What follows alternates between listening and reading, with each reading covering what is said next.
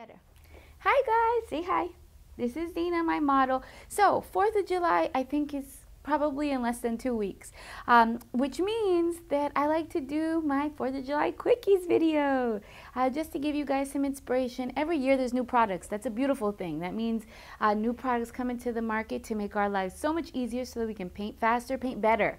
Um, so uh, this is not new, but these, this is a rainbow and an arty cake uh, produced for 4th of July. These are the Patriotic Collection. And let me tell you something, if you're going to be doing red, white, and blue face painting this season, these are really helpful. Uh, so definitely check these out if you don't already have them. In addition to that, there are oodles of new stencils. So in the Pink Power collection, there's the heart flag stencil, regular flag stencil, eagle stencil, fireworks stencil. Uh, these are super helpful for fast cheek art or just ways to embellish your designs. Um, this is a new stencil. It is a boomerang stencil and it has a bunch of stars on it, which is also very helpful. Um, like I said, fireworks stencil. If you haven't checked out the line of ooze stencils, this one's kind of uh, been beat up, so that means I need a new one.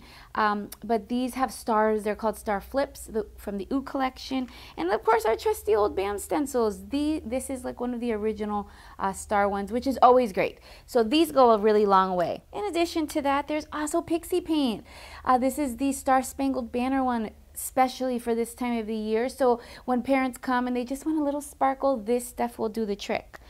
In addition to that, I always have my um, my vivid glitters. These are the chunky cut ones. I have some blues, some reds, which are good. And then this product is one of my favorite. As you can tell, look, it's almost completely gone. It is called Glitter Cream, and this can go on top of your face paint. It's really beautiful over the eyes. I use it every time I go to concerts to embellish my eyes. And you like glitter? Okay, so I'm going to show you guys just some fast 4th of July cookies that you can put to use right away and use them on your jobs that are coming up because I want you guys to uh, paint and I want you to make more money and the more people that you move through your line and you do a great job, that's how you make more. You make customers happy. As always, thanks for joining me guys. I have a busy travel schedule. I will be at Kidvention in Phoenix.